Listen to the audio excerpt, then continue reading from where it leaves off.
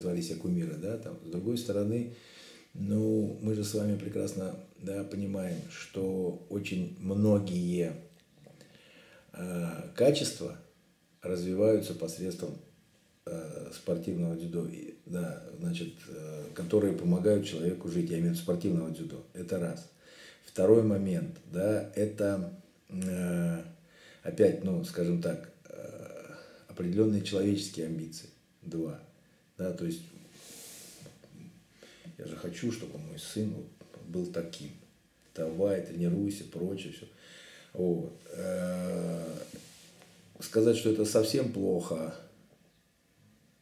ну, наверное, нет, да, потому что, ну, как-то, да, то есть человек должен иметь ориентиры, да, чтобы, ну, что-то, чего-то, да, если он хочет добиться, да, но ему нравится, да, то есть сам процесс борьбы, единоборства, соревнования там и так далее значит, у него должны быть какие-то ориентиры. И я тоже не в восторге, когда приходят родители и при ребенке говорят, да не нужен мне, чтобы он был чемпионом. Пусть вот так, ну, типа, ходит, чего-то там научится и так далее. То есть, это уже посыл тоже неправильный, с моей точки зрения. Вот. А, здесь, ну, вот, очень важно иметь такую, знаете, золотую середину. То есть, как так, мне все равно. Лишь бы там почему-то научился. Нет. А почему нет? Пусть человек попробует. Э, вот. И сам решит, сам примет решение. Э, что, э, что, почему, если он ребенок, значит, он не может принять решение, пусть он примет решение, пусть он найдет свой путь. И вот ну, ко всему надо относиться с любовью. Почему понимаете? я задал этот вопрос? Потому что зачастую бывает так, что ребенок, вот он, э, увидев э, по телевизору соревнования чемпионов и так далее, он затягивается, да, дзюдо. Ему это интерес становится. И вот он идет, идет, идет, идет, да, но у него никак не получается. Раз соревнование, два соревнования, три. И он вроде бы, он хочет быть вот так же наверху, рядом с теми, с чемпионами, но у него не получается. И в результате он, он понимает, что, ну, как бы, вот он не, не, не, не тех э, кумиров он выбирает, ему туда не добраться, у него нет сил туда добраться.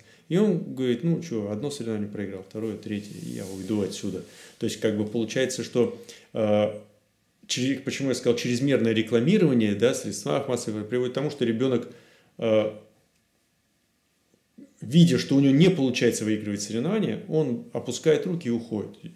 Ну, я скажу так, это уже э, ведь э, да, есть определенные... Да, Нету другого для него вида. То есть ему не показывают, что дзюдо это нет, вот как вот. мы говорили, это не, не соревнование. А не показывает кто? Не показывает тренер, не поддерживает родители. То есть это же тоже есть определенная ответственность взрослых, да, то есть которые рядом с ними идут. И мы с вами прекрасно понимаем, да, вы мне задали вопрос про олимпийского чемпиона, да, вот. Мы же знаем, что пьедестал, он, ну, вот, да. маленький. Он не, не может уместить всех желающих и всех дерзающих и так далее. Поэтому это уже, ну, скажем так, э, просто нравственная составляющая родителей и тренера. То есть помочь, поддержать и объяснить, что ну да, так сложилось. И да, в дзюдо есть да, другие ипостаси, в которых ты можешь реализоваться, да, и в которых ты можешь быть достойным человеком, да, и развить те качества, да, чемпиона, которые есть у человека, который ты, на которого ты хотел бы там равняться и так далее. Вот. Ну и вот э, здесь э, такая тема, да, что, ну, вот вы сказали, да, посредством, ну, это тоже, да, как и соцсети, да, они имеют свои издержки, да, то есть, но и без рекламы тоже нельзя, то есть без этого рекламы, промоушена и всего остального, потому что, ну, вот я не сторонник, допустим, да, э, вот, э, программы, назовем ее так, да, ММА, да, системы угу. проведения соревнований, да, смешанных единоборств. То есть это не вид спорта какой-то еще, это просто система проведения соревнований. Вот я ее не сторонник, она меня не увлекает, более того, да, то есть э, нет у меня позитива. Но она пользуется очень большим спросом. Посредством рекламы. В том числе, понимаете? И э, опять же, вот этих человеческих амбиций. Вы много бываете за рубежом, видите, как обстоят дела в мире в области дзюдо. Скажите, э, какое принципиальное различие нашего дзюдо, ну, имеется в виду э, дзюдо в Российской Федерации, и дзюдо в Японии, и Франции или Германии? И есть ли оно вообще? Э, различия есть, конечно. Вот в том числе и в отношении к, к нему как к, э, не только к виду спорта. Ну, во-первых, начнем так, да, что в России занимаются дзюдо порядка 300 тысяч человек, по-моему. Вот. Ну, так статистика. Так статистика говорит, да, тут мне как бы сложно сказать, ага. да, то есть я не могу сказать. Статистика говорит, что во Франции занимается дзюдо порядка 700 тысяч. В Японии, где дзюдо не самый популярный вид, как многие утверждают, полтора миллиона. А, процесс, да, как говорится, опять же, количество, да, как перехода количества в качество никто не отменял. Вот, но мы сейчас говорим не только о спортивном результате, мы говорим о, а, да, вот вы сказали, многие связывают именно, э, ну, вот, занимающие вот. Многие связывают это с воспитательной составляющей, с дисциплиной. Вот во Франции это вообще, вот, ну, я общался, да, очень достаточно много, они, ну, вот, э, с родителями в том числе, они говорят, вот, что нам нравится, это дисциплина. Вот, отношения, ну, дисциплина в широком смысле слова. Поставить тапочки, сложить кимоно, постирать кимоно, помыться. То есть, ну, такая вот самодисциплина. Угу. Да, то есть, вот как бы вот такие вот моменты. Форма, ну и так далее, и так далее. Да, то есть, вот эти все моменты. Плюс, э, да, вот эти требования, да, они как-то так вот людей воспитывают, да, и, ну, посредством дзюдо очень часто, как они говорят, ну, так вот я скажу таким э, современным жаргоном, создается здоровая тусовка. Для родителей это тоже очень важно для семей и для людей и так далее. То есть э, там же, ну, в той же Франции, Германии, там клубная система очень развита мощно, хорошо. И... Ну, вообще в мире э, отсутствует, наверное, мне кажется, вот э, та система, которая в Российской Федерации, ну, государственных спортшкол. Ну, понимаете, тем не менее, да, вот существует, скажем так, определенная система партнерских, спонсорских и в том числе и государственной поддержки. Э, я имею в виду детских, ну там не детских клубов, да, то есть они э, вот именно находят способы компенсации тех или иных, да, вот как я вот рассказывал, да, муниципальные, да, то есть uh-huh. муниципалитет берет на себя какую-то нагрузку с точки зрения возмещения там, да, там коммунальных услуг, скажем так. Uh-huh. Не растягивать это все. Вот, э, поэтому, ну, вот э, отношения, да, вот именно люди связывают это с э, воспитательной составляющей в том числе. Ну и, естественно, да, в том числе и присутствие наличия чемпионов, как бы мы этого не, не, как бы, как знаете, не говорили, да, что вот оно все равно существует, да, что люди идут смотреть на чемпионов, людям интересно, люди это дело обсуждают, а, ну и опять же, да, то есть ту же самую какую-то технику чемпионов, они ее пробуют, изучают, вот, а, она им нравится, да, кому-то подходит, кому-то не подходит, появляется предмет дискуссии, это тоже же здорово. Вы в свое время э, входили э, в состав ну, одно, органа управления Федерации дзюдо России. Да, был такой, а, да. был такой период. Ну, вот, э, как я понимаю, Федерация дзюдо России – это организация, которая выполняет государственный заказ по развитию дзюдо как вида спорта. Ну, да. Но не все хотят быть спортсменами. Как тогда быть? Как тогда федерация должна э, я выполнять хочу заказ? вам сказать, что мы все развиваемся, и развивается и Федерация дзюдо России. И я вам хочу сказать, что я, э, да, да, был достаточно большой период в моей жизни, да, э, вот, работы в этой организации, и я сейчас с ней взаимодействую, да, и с теми людьми, которые в ней работают. Вот. И я, для меня это очень отрадно и радостно. То есть в, сейчас в Федерации дзюдо России, с моей точки зрения, уделяется достаточно много или, скажем, больше, ну, чтобы уж так, знаете, mm-hmm. как говорится, мне, я, я не работаю в этой организации, мне, как говорится, оценку там сложно давать прям такую, да, сильно объективную, но я вам хочу сказать, исходя из того, что когда работал я, да, э, вот, э, и э, вот именно, да, руководство Федерации дзюдо России, если я там, да, как-то еще пытался там, да, дискутировать, ну, как не то, что пытался, а дискутировал, да, там как-то вот говорил, там что-то там пытался доказывать и доказывал, и меня слушали, mm-hmm. то есть был такой нормальный э, диалог рабочий, да, вот, не всегда он, может быть, был такой позитивный, но он был рабочий,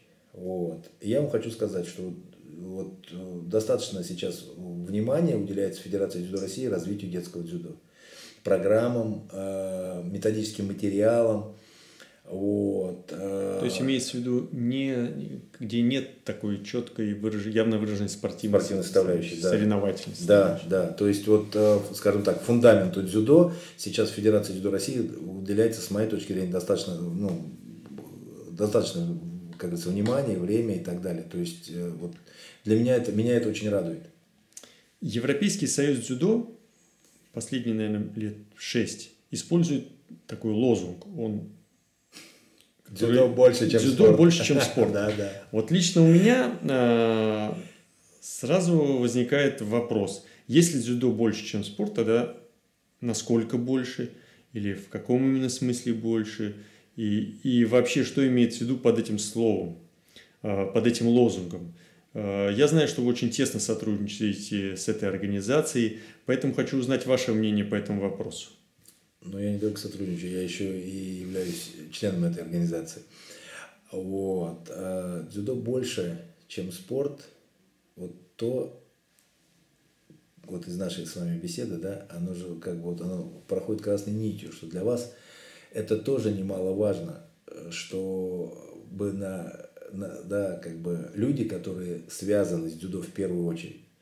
Вот именно наша такая, да, скажем так, большая семья дзюдо, специалистов, тренеров, любителей, спортсменов, чтобы она относилась к дзюдо не только как к голам, очкам, секундам, а как и к формату воспитания, обучения, образования.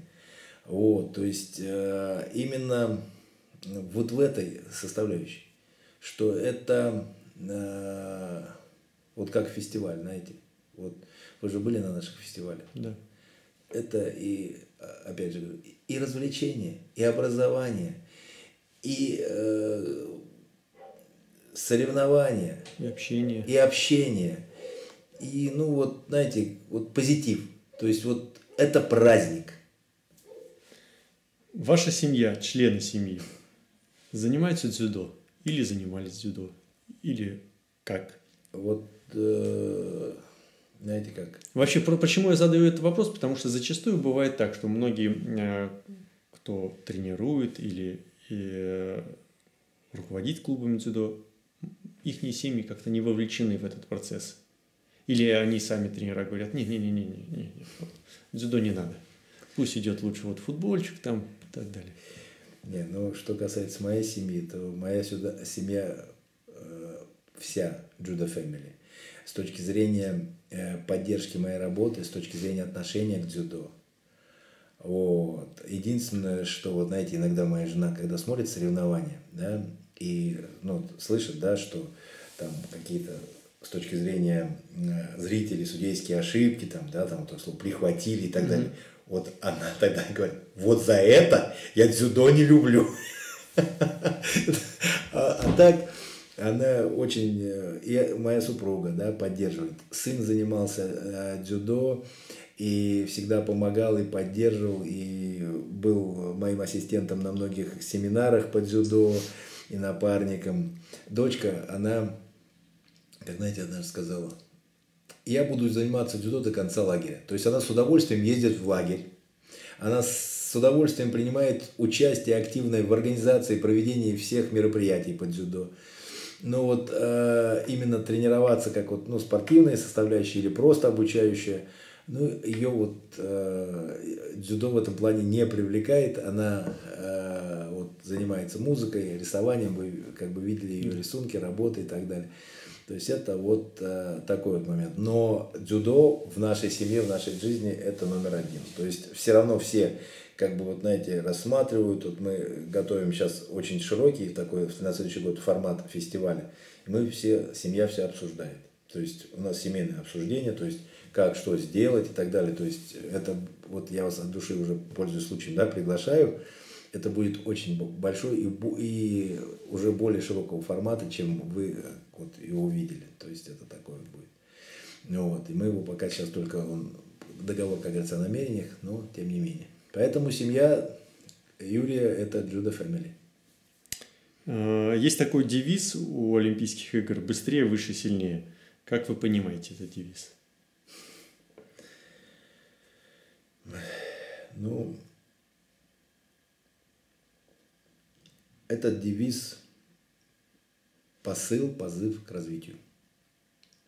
К развитию, чтобы была эта динамика – прогресс, развитие во всех ипостасях. И в том числе общечеловеческих. Победа любой ценой? Или все же надо подумать? Что скажете по этому поводу? Я это вообще не понимаю. Не может, понимаете, победа любой ценой, да, это факт победа. Ну, то есть, да, если мы конечный результат смотрим но насколько она даст радость человеку. Ведь э, в любом человеке есть сильные и слабые стороны, какие-то хорошие и не очень хорошие да, э, качества. Да? Ведь в жизни любого человека есть поступки, за которыми потом стыдно. Вот. Но уже исправить ничего нельзя. И человек, он делает для себя выбор, что больше так делать не надо. Это человек опыт, да, то есть угу. я больше так делать не буду, да, и так далее. То есть э, вот радость от такой победы, она иллюзорна, и она человека не делает чище и светлее. Это, это большая-большая человеческая проблема любого из нас. Политика в Олимпиаде, политика в спорте, политика в дзюдо. Ваше мнение? Другими словами, это называется подковерная борьба. Это я это тоже не приемлю, и э, вот понимаете, это не мое, это чужое инородное тело в жизни любого человека, в жизни общества. Вот, наверное, как-то так. Есть э, в начале нашего разговора в одном из вопросов вы затронули это так краешком, э, так называемый кодекс дзюдоиста – и э, у меня в клубе висит ваш подарок, где прописаны эти основные постулаты да, этого кодекса с комментариями. Да.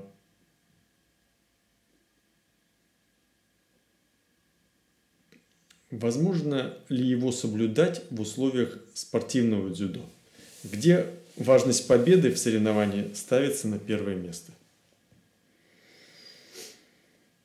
Э, я так напомню, да, основные это, это да дружба, помню, я помню, уважение, помню, да, да, такие да, вот. я а... Ну, вот это, наверное, как раз э, вот оно э, как чтобы спущен флаг у нас тут нельзя так. Вот. Ваш вопрос, оно как следствие предыдущего, да, вот именно вопроса, вот, по поводу того, что победа любой ценой. Вот, э, и оно ответ тот же, понимаете? То есть без да, э, уважения к сопернику, без э, достойного поведения на татами, победа не может приносить нормальному человеку с нормальной психикой, с, с человек, который, для которого важны общечеловеческие принципы, доставить радость. Вот э, без них нет. Вы знаете, вот просто скажу, что у нас в городе э, на одном не очень коммерческом месте, да, таком, висел очень долгое время баннер, да, то есть написано э, там дзюдо, там, значит, э, это, как говорится, там, путевка в жизнь, там еще что-то такие, ну какие-то такие, знаете, такие, ну, слова такие рекламного mm-hmm. характера, да, там дзюдо больше, чем спорт, там и так далее. И были прописаны вот эти э, принципы кодекс дзюдоиста. И мне, да, значит, один человек сказал, Юрий Александрович, я так благодарен, иду на работу, и вот смотрю и выбираю один из них. И пытаюсь вот этот кодекс целый день э, соблюдать. Я рассказал об этом своим знакомым. Понимаете? И это приняло форму игры. то, то есть, всех это так захватило. То есть, он говорит, я тоже выбираю. Вот. Один говорит, а я выбираю только один. Ну, то есть, знаете, как-то так. Ну, вот, э, все равно оно, знаете, вот э, чем хороший кодекс дзюдоиста, тем, что он не входит в противоречие ни с одной на сегодняшний день существующих религий, например. Поэтому он подходит всем. Клуб дзюдо – это место, где собираются люди, которым интересно дзюдо, где люди могут пообщаться и провести хорошо время в кругу людей с общими интересами. Но здесь еще и учат. Ведь так? Да.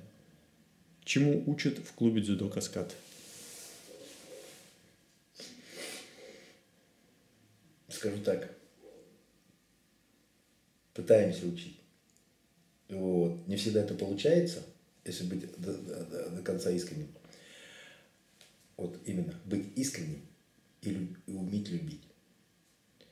А, искренность э, я подразумеваю в том, знаете, как дать возможность человеку быть самим собой. В клубе, да, у каждого есть свои, еще раз говорю, особенности характера и так далее. Но я хочу, чтобы в нашем клубе воспринимали человека таким, какой он есть и понимают, что мы все разные. Там, знаете, как говорится, абсолютно, да, там, по, как говорится, по все, ну, в разных там, да. По многим составляющим, составляющим да, да, да. Понимаете? Вот. И это не должно, да, напрягать людей. Потому что, ну, да, там, скажем так, в силу определенных служебных а, каких-то, да, там, обязанностей, отношений, да, человек где-то себя сдерживает, где-то он себя ведет так, как требует общество и так далее. А вот здесь он не боится показаться смешным, он не боится показаться слабым. Поэтому мы, да, иногда вот, как бы, да, говорю, так вот, сильный человек, он не может, ну, вот здесь, у себя. Поэтому мы проводим какие-то там, ну, скажем так, ну, вечера, праздники, да, на которых мы вот именно те, как, которые, ну, знаете, как говорится, и нам не нужен алкоголь. Вот, э, чтобы расслабиться и чтобы быть самим собой. И любовь научиться любить э, в первую очередь детей. Знаете, у меня вот э, был такой случай недавно, да, когда мне э, один из родителей сказал, что Юрий Александрович э, скорее бы вырос, да, то есть, ну, я вот рассказывал, что у нас э, проект «Семья дзюдо», там дети с родителями есть и так далее.